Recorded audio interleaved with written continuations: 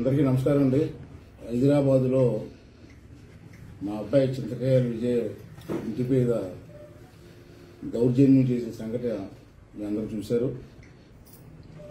CID department వాళ్ళు మఫ్టీలో వెళ్ళి చాలా దౌర్జన్యం చేశారు. ఇంట్లో మా అబ్బాయి ఆ కోడలో ఇంటి యజమానులు లేకపోయినప్పటికీ కూడా వితౌట్ ఎనీ నోటీస్ ఇవ్వకుండా ఇంట్లోకి ఎంటర్ అయ్యి చాలా ఇబ్బందికరమైన వాతావరణం సృష్టించారు ఇక్కడ. అక్కడ మా- అబ్బాయి తాలూకు కార్ డ్రైవర్ని కూడా కుట్టి లోపలికి ఎంటర్ అయ్యారు. ఎంటర్ అయ్యి ఇంట్లో యజమానులు లేరని చెప్పినప్పటికీ కూడా అక్కడ ఉన్నటువంటి లేడీస్ మీద ఆఖరి చిన్నపిల్లలు విజయ్కి ఇద్దరు పిల్లలు ఒక బాబు చిన్న బాబు రెండు సంవత్సరాలు. పాపకేమో నాలుగు సంవత్సరాలు. చిన్నపిల్లలని చూడకుండా వాళ్ళని కూడా ఇంట్లో కట్టాడు వాళ్ళ తల్లిదండ్రులు పర్మిషన్ లేకుండా ఫోటోలు తీసి పిల్లలకి మీ నాన్న ఎక్కడున్నాడో? ఏం చేస్తారో చెప్పి పిల్లల్ని కూడా చాలా ఇబ్బందికర వాతావరణం సృష్టించారు అక్కడ. అక్కడ మా లాయర్ గారు కూడా వెంకటేశ్వర గారి సీనియర్ లాయరు. అతను కూడా వెళ్ళి చెప్పినప్పుడు కూడా అతని మీద కూడా దౌర్జన్యం చేశారు. ఈ లోపల అక్కడ లోకల్ అబోదరికి అలాగే తెలంగాణలో ఉన్నటువంటి తెలుగుదేశం పార్టీ నాయకులందరూ కూడా ఇంటికి వెళ్ళబోతుంది వాళ్ళని చూసి భయపడి నోటీస్ ఇచ్చి వెళ్ళిపోయారు. ఏంటంటే దౌర్జన్యం? మన రాష్ట్రంలో ఏ ఏ పరిపాలన జరుగుతుందండి? ఈ ముఖ్యమంత్రి చేస్తున్న పరిపాలన ఇదేనండి పరిపాలన? పరిపాలనని మేము ప్రశ్నించకూడదా? మూడు సంవత్సరాలు మీరు చేస్తున్నటువంటి అవినీతి కార్యక్రమం మనం మాట్లాడకూడదా? ఇది మాట్లాడకూడదు. మాకు రైట్ ఉంది. ఆంధ్ర రాష్ట్రంలో పౌరుడిగా ప్రతిపక్ష పార్టీగా ఏ తప్పు చేసినా మేము క్వశ్చన్ చేస్తూ ఉంటాం. అది మా రైట్ అండి. రాజ్యాంగం మాకు ఇచ్చిన రైట్. ఇవ్వడం వద్దనడానికి. తప్పు కదా? మేము అవినీతి పనులు మేమన్నా ఎక్కడ అవినీతి చేసావా? ఇంకా నువ్వు అవినీతి పడు అవినీతి చేసి జైలుకి వెళ్ళిన వ్యక్తి నువ్వు. రాష్ట్రంలో ఎన్నో కుంభకోణాలు ఇరికిపోయావు ఆఖరి నీ భార్యని కూడా ఇరికించావు. అటువంటి నువ్వు మమ్మల్ని బెదిరించి పెట్టి నాకు అర్థం కదండి. ఓకే మేము తప్పు చేసాం అనుకోండి. మాకు నోటీస్ ఇవ్వాలి కదా. నోటీస్ ఇవ్వకుండా ప్రతి శుక్రవారం ఏదో కేసు పెట్టి శనివారం ఆదివారం జైల్లో పెట్టి జైల్లో మమ్మల్ని కొడతా ఉంటే ముఖ్యమంత్రి గారు ప్యాలెస్లో ఉండి చూస్తారు అది. ఎలా కొడుతున్నారని. ఇదేంటి పరిపాలించే విధానం? పద్ధతి అండి ఇది. సిఐడి బాస్ ఉన్నాడు అతను. అతను కూడా చెప్తాను నేను. ఈ పద్ధతి కాదు సిఐడి అంటే ఒక ఉన్నతమైన డిపార్ట్మెంట్. అటువంటి డిపార్ట్మెంట్ని ఈవేళ పనికిమాల డిపార్ట్మెంట్ మార్చేశారు ఈవేళ. డీజీపీ గారు. మీరు ఒక I senior I IPS officer మీరు. మీరు కూడా ఈ విధంగా చేయడం పద్ధతి అండి ఇది. ఇలాగ ఎన్నాళ్ళు దౌర్జన్యం చేస్తారండి? నువ్వు భయంపించి మాట మా మా నోటే మాట్లాడడం చేయాలని ప్రయత్నమా?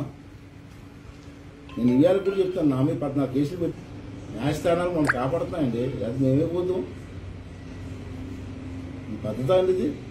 మీరు ఎన్ని భయంపించినా ఏం చేసినా మాకు విదేశం తెలుగుదేశం పార్టీ అంటే అభిమానం. ఎన్టీ రామారావు గారు అంటే మాకు ప్రాణం.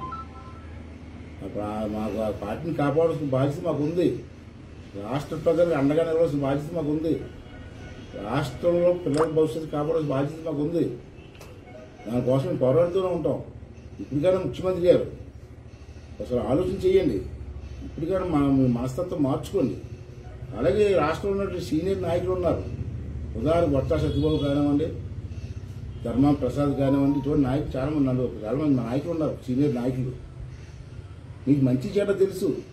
ఈ ముఖ్యమంత్రి మూర్ఖుడు ఎంతసేపు దోసుకోవడం దోసుకోవడం తప్పించి పరిపాలన తెలియదు. మీలాంటి ముఖ్య ముఖ్యమైన అని చెప్పాలి కదా అతనికి? ప్రసాద్ బాబు గారు నా మీద దౌర్జన్యం చేస్తారు. ఇంట్లో ఆడవాళ్ళ మీద ఇష్టం వచ్చి మాట్లాడతారు. బూతులు తిడతారు ఆడవాళ్ళని. రాష్ట్రంలో ఆడవాళ్ళందరూ బూతులు తిట్టమే ఆడ మగ తేడా తెలియదు మీకు? ఈ సీనియర్ నాయకులందరినీ అడుగుతున్నాను ఇవాళ. ఊర్లో వేరే రాష్ట్రంలో అందరి నాయకులు ఇంట్లో ఆడాలని తిడతారు కదా మీరు? మీ ఇంట్లో ఆడాలని తిడితే మీకు ఎలా ఉంటుంది అది కొత్త అండి. అసలు ముఖ్యమంత్రి గారు మీరు ఇది చెప్పాలి? కొత్త కదండి ఇది. ఇదేం పరిపాలన అని చెప్పాల్సిన బాధ్యత సత్యబాబు గారు మాట్లాడతారు. నేను నాకు చూశాను టీవీలో.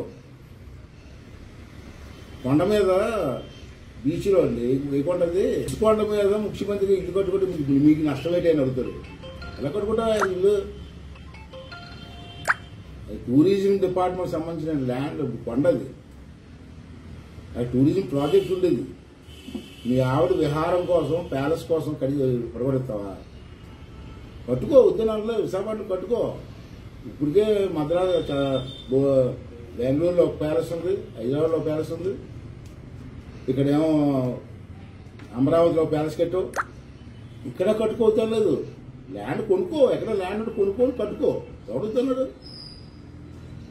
కొత్త సత్యబాబు లేదు అలా మాట్లాడొచ్చండి. కట్టుకోకూడదా కట్టుకుంటాయా మీ మంత్రులందరూ ఒక్కొక్క కొండపై కలిసిపోండి వెళ్ళి. అడుగుతాడు పద్ధతి కాదని చెప్తాం. అది ఎంతవరకు కరెక్ట్ అని పెద్దలు ఆలోచించాలి. చెప్పండి మీ ముఖ్యమంత్రి చెప్పండి పద్ధతి కాదండి. రాష్ట్రంలో ఎనభై శాతం మంది మమ్మల్ని వ్యతిరేకిస్తున్నారు.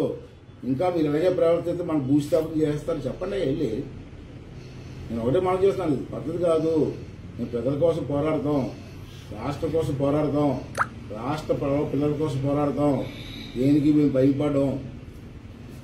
ఇప్పుడుగా పద్ధతి మార్చుకొని పోలీస్ డిపార్ట్మెంటు సిఐడి డిపార్ట్మెంటు ముఖ్యమంత్రి గారు సక్రమంగా పరిపాలన చేసి ప్రజలు మనల్ని పొందండి అంతేగాని ఇష్టం దౌర్జన్యం చేస్తే మాకు చూస్తూ ఊరుకోవడానికి మేము సిద్ధంగా లేము. ఇటువంటి కేసులు మేము భయపడే రకం కాదంటే కూడా ఈ సందర్భం అందజేస్తున్నాం